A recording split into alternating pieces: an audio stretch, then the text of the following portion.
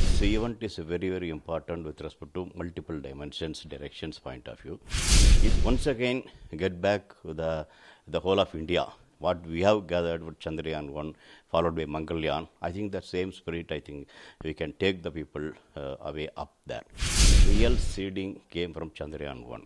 So having done that, when the world, world is going back to the moon, India cannot lag behind. Multiple reasons, this mission is a very, very important. This event is very, very important with respect to multiple dimensions, directions point of view. Uh, one is, uh, yes, we have shown to the world a historical mission Chandrayaan 1. A follow-on uh, logical was a soft landing on the moon, but unfortunately we could not make it. So uh, in that series, definitely it is time for us to prove, yes, Chandrayaan is not an isolated success.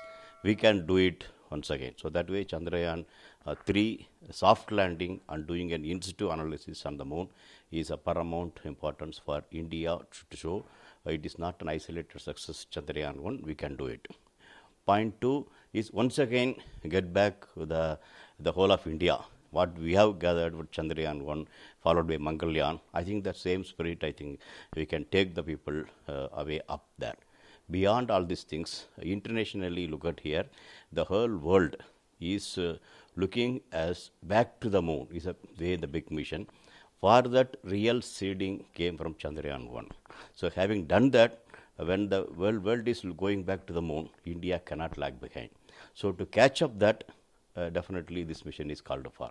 So the success of this mission will make a very big impact in the international arena. In nationally, India playing a meaningful role, and uh, I think that way I see is a multi multiple reasons this mission is a very very important.